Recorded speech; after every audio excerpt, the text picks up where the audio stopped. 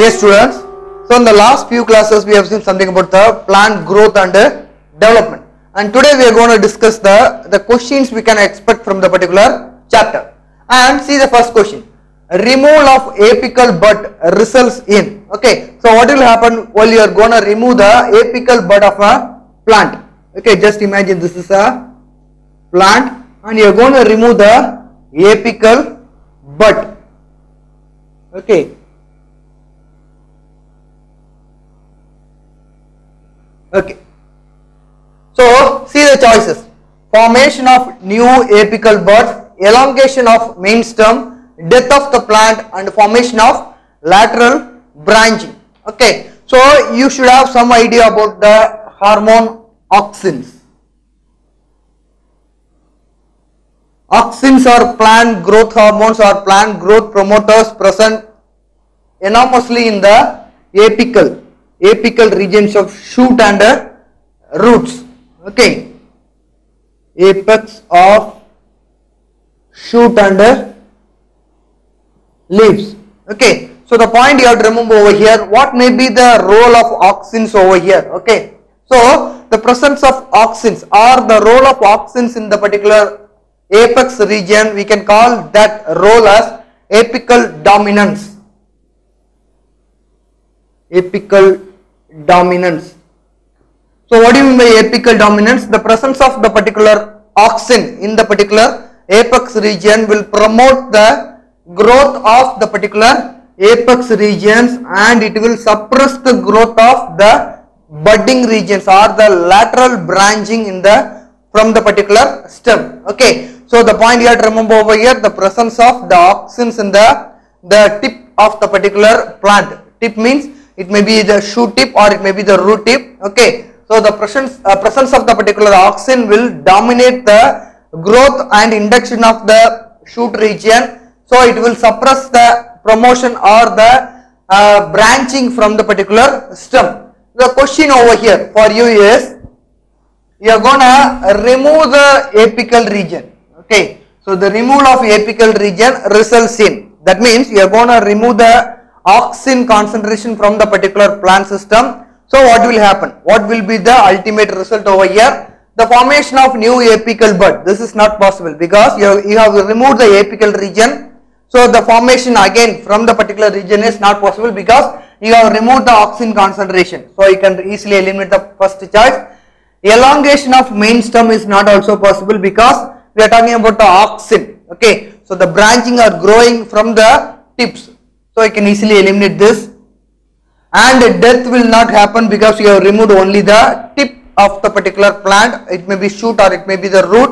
You didn't remove or you didn't uh, you didn't do the major damage to the particular plant. So death will not happen. So the answer choice, the remaining choice is the formation of lateral branching. As I told you, while you have removed the particular tip of the particular shoot or root, okay.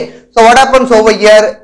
It will automatically promotes the growth of the branching from the particular stem. As I told you, the branching will be suppressed by the concentration of auxins. You have removed the root tips and you have removed the shoot tips so that it will remove the apical dominance by the hormones auxins so that it will enhances the formation of lateral branching. So the answer choice for the particular question is formation of lateral branching that is the results from the removal of apical bud okay. And see the next question. Gibberellins okay. So gibberellins promotes. Okay. So most of the questions you can expect from the particular chapter is related with the the hormones plant growth factors. Okay. So what may be the role? What will happen? While you are treating with a particular hormone what will happen?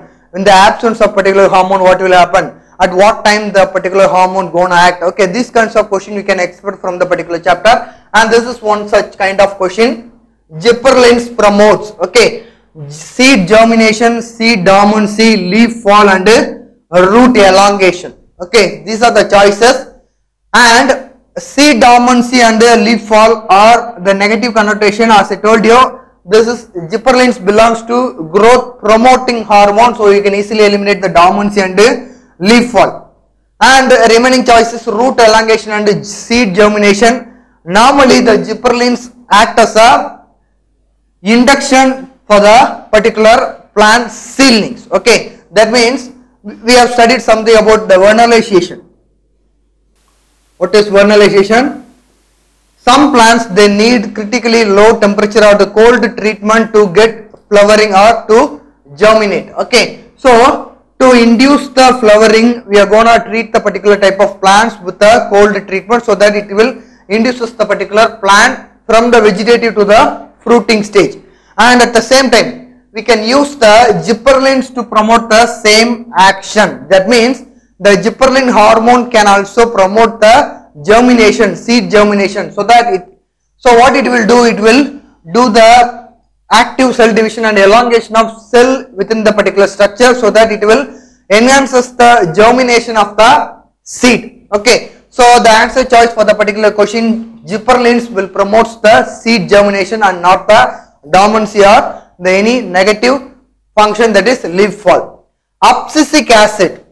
The third question see the abscisic acid controls. Okay just remember abscisic acid is almost opponent to the particular gibberellins okay so this is on the inhibitor action side of the particular plant okay so gibberellins belongs to plant growth promotion and abscisin refers to abscisic acid refers to plant growth inhibition side.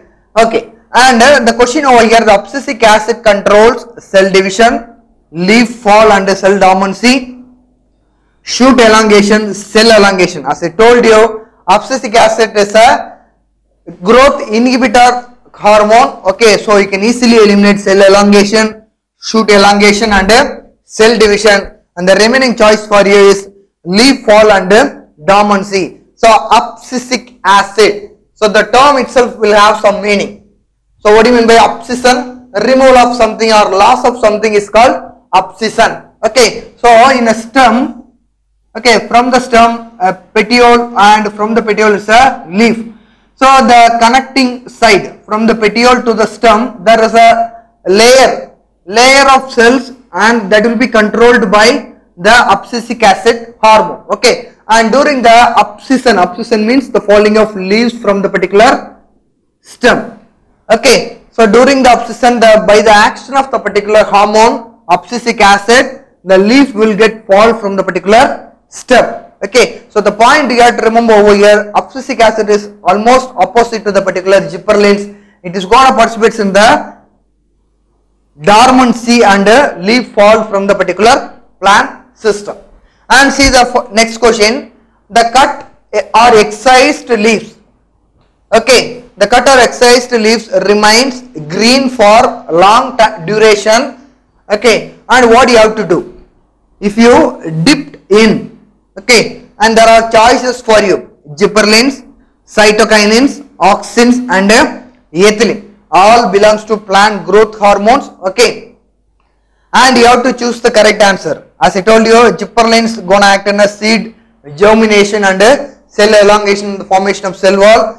Auxins are in the apical dominance or they are gonna act in the apical region promote the growth of the apical. But ethylene is a somewhat different kind of uh, hormone. They are going to participate in the inhibitor action. And the choice our answer choice over here is cytokinins okay suppose you are gonna so normally the cytokinins are used in the marketplaces. Okay so they are used they are using this particular cytokinin hormone. Okay how they are using they are treating the particular cut or excised leaves. Okay they are spraying the particular cytokinins on the particular leaves. Okay so that it will make the particular cut or excised leaves remain green for so much of or so long time. Because it will promote normally the cytokinin is a promotion hormone or promoting hormone. Okay it will promote the formation of more number of chloroplast and chlorophylls so what will happen? It will make the particular structure as green as possible for long time. So the answer choice for the particular question is cytokinins make the cut or excise leaves for green as long time. Okay. And now we are going to continue the questions. And see the next question now. The typical growth curve in plant. Okay. So this question is talking about the shape of the plant growth curve. Okay, so we have seen in the introduction classes. Okay, there are so many types of growth pattern we can observe: arithmetic, geometric, okay, uh, linear, sigmoid, and imagine this this kind of growth. So this is this is a kind of linear growth. So over here, from the zero point, from the zero time or from the initial time, the growth will be enormous and there will be no inhibition, there will be no adaptation. From the starting point, it, it will be in a logarithmic s- phase. Okay, and normally in a normal environment, it is not possible. Okay, so you can easily eliminate the linear growth. Okay, and see the remaining choices sigmoid, parabolic and star shaped and we'll see the growth curve first then we'll go back to the answer and as I told you whatever may be the plant system normally they'll go through the adaptation phase okay? So we can divide the stages into some stages. The first stage is called lag. And then there is a log.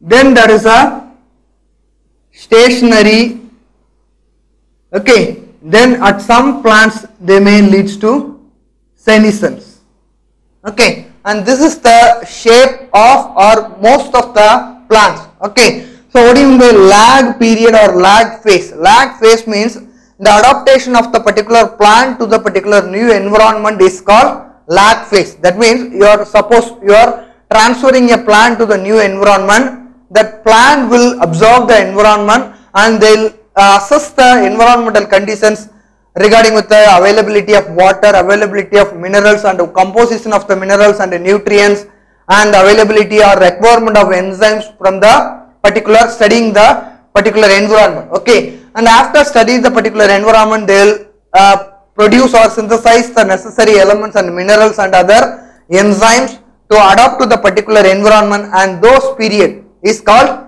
the adaptation period or lag phase or lag period and after the adaptation the plant will start to grow in the particular adapted environment. Enormous in an enormous speed that speed that kind of growth is called the log phase or exponential phase. Okay. So after some time the the uh, limiting factors from the environment leads to the stationary phase. That means the growth will be somewhat limited and it, some cells may leads to maturation and death uh, some cells will be newly formed. And rarely normally in plant we will not see the senescence.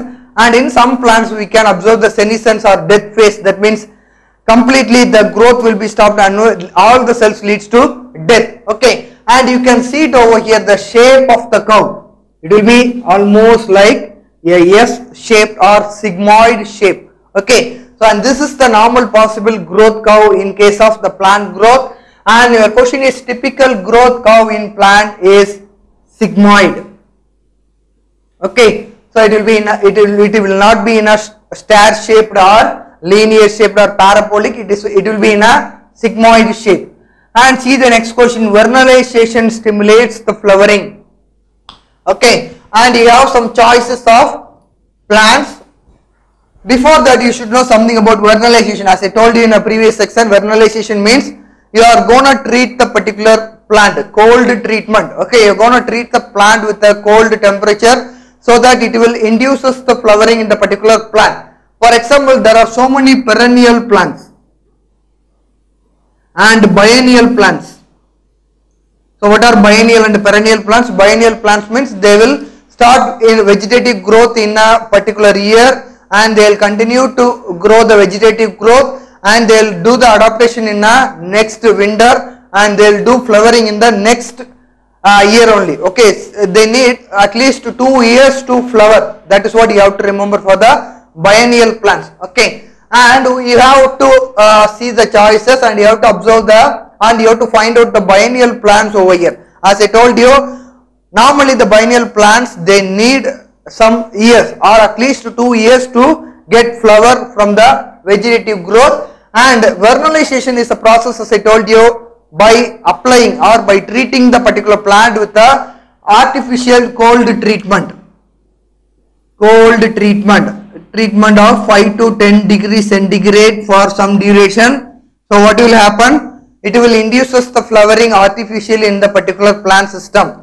Okay, so over here the biennial plant is carrot. Okay, ginger, turmeric and potato and other plants are not biennial plants. The carrot is a biennial plant. You can induce the flowering in carrot by treating the particular plant system with a cold treatment and the answer choice over here. The vernalization simulates the flowering in carrot. And see the next question. The phototropic and the geotropic movements are linked to which hormone? And see the choices. Gibberellins, enzymes, auxins and cytokinins. And as I told you, gibberellins is a growth promotion. It is it is going to act in a seed germination. Cytokinins, okay, as I told you, it is going to act in a uh, promotion of the formation of the other factors, the chloroplast, chlorophylls, and uh, maintaining the green structure. And enzymes, just forget about the enzymes because the uh, chapter is about the hormones, plant growth factors. Okay. So the remaining choice over here is auxins. Okay. And before that, you should know something about what you mean by phototropic and uh, geotropic. As I told you, auxins are present in the uh, tips, root tips and uh, shoot tips. Okay. So just imagine this is a plant. Okay. This is a shoot tip and this is a root tip. Okay. So what may be the role of auxins? It is going to promote the elongation of the particular tips. And over here, what do you mean by phototropism? Phototropism is the growth of the particular plant by response to the sunlight. Okay. Growth in response to light is called phototropism. Growth in response to the gravity is called geotropism. Okay. So, growth of the roots in response to gravity by means of the particular auxins present in the tip is called geotropism and growth in response to sunlight okay by the response from the auxins in the shoot tip is called phototropism the question over here the phototropic and the geotropic movement of plants linked to which hormone? Auxins. Okay so this is how you have to understand the question. And see the next question which is employed for artificial ripening of banana. Okay so this is somewhat easy question. Artificial ripening you're gonna do the or you're gonna make the particular banana ripe by means of artificial treatment auxin is a promoter promotant auxin coumarins and cytokinins are plant promoting hormones and ethylene as a gas. Okay it can promote the artificial ripening. Okay so you should know something about the ethylene. Normally the mature fruit will produce the ethylene gas. Okay not uh, not the ripened fruit only the matured fruit unripe matured fruit will produce the ethylene gas normally. Okay. So by applying the ethylene gas artificially to the particular fruit we can make the particular fruit ripen. Okay. This is what you have to remember something about the ripening of banana artificially. Okay. And now we are going to continue the questions. And see the next question bananas can be prevented from over ripening okay in the last section we have seen something about the ripening of the banana by means of the application of ethylene. And here the question is about you're gonna you have to prevent the over ripening okay. Bananas can be prevented from over ripening you have to prevent the ripening over here. Okay you are going to perform just opposite to the what the ethylene will do. So maintaining at the room temperature and uh, next choice refrigeration and uh, freezing and dipping in ascorbic acid solution. Okay. And these are all the choices for you. And just remember as I told you ethylene is the gas responsible for the ripening of the particular mature fruit. Okay. So you have to prevent the action of ethylene. By means of refrigeration and storing in freezing condition you cannot stop the action of ethylene because ethylene is not an enzyme it's a gas you can inhibit the role of enzyme or activity of enzyme by lowering the temperature but you cannot inhibit or activity of the ethylene by lowering the temperature. So you can easily eliminate the freezing and uh, refrigeration and this is applicable for room temperature also. Okay and the remaining choice is by dipping in a ascorbic acid solution you can inactivate the action of the ethylene so that you can inhibit the uh, uh, over ripening of the particular fruit. And see the next question which one increases in the absence of light? Okay. And see the choices. Uptake of minerals uptake of water elongation of internode and uh, ascent of ascent of sap. And just remember one thing the clue over here is for you absence of light. Okay. In the absence of sunlight what will happen and just remember the choices. Ascent of sap uptake of water uptake of minerals they all link to the photosynthesis. Photosynthesis is means synthesis of something re- related with the in presence of light. Okay. So uptake of minerals uptake of water ascent of sap all related with the photosynthesis they all related with the presence of light. And the remaining choice over here is elongation of internode okay so that process is called etiolation so we have studied these things in a previous classes. Etiolation means in the absence of light the stem elongation will happen okay? The patches of the colors will start to appear in our leaves. The branched leaves is going to happen appear okay? And this process is called etiolation so this is what the choice you have to choose elongation of internode okay internode means the intersection in the particular stem region. Elongation of internode or etiolation will happen during the absence of light or in the dark condition. Okay see the next question. Which combination of gases suitable for the fruit ripening? As i told you as i discussed in a previous section ethylene is responsible for the fruit ripening. And see the choices. 80% methane and 20 percent carbon dioxide. Carbon dioxide also you can go for uh, to use the ripening of the fruit. And over here the combination is methane and carbon dioxide. This will not be correct. And see the next one carbon dioxide plus oxygen. It will not be correct. And see the next one 80% carbon dioxide and 20% methane. It will not be correct. And choice over here ethylene plus carbon dioxide combination 80 20 percentage ratio. Okay so 80 20 percentage ratio of ethylene and carbon dioxide will be the combination you can go for the artificial ripening of fruits in a market. And see the final question cytokinins okay and what may be the role of cytokinins among the choices given for you? Promotes abscission influence water movement help retain chlorophyll inhibit protoplasmic streaming. As i told you in the last section cytokinins is being applied to the cut or excised leaves to make them fresh or green for prolonged time. That means they are gonna retain the chlorophyll and the, the green nature of the plant. Okay so promotes abscission by means of abscisic acid not by means of the particular cytokinin. And water movement will not be promotes by the particular cytokinins protoplasmic streaming is not being related to the particular cytokinins the answer choice as i told you it will retain the chlorophyll so that it will make the plant green for prolonged time. Cytokinins are always related with the retaining of the pigment chlorophyll. Okay. So this is how you have to answer the particular type of question. As i told you from the particular chapter normally you can expect the questions from all the plant growth hormone related topics. Okay so they'll ask questions like this. What may be the role? What will happen? What will uh, if you remove the particular hormone what will be the nature of the particular hormone? And what will be the combinational effect? Okay these kind of question you can expect from the particular chapter. In the next section we are going to start with the new unit that is human physiology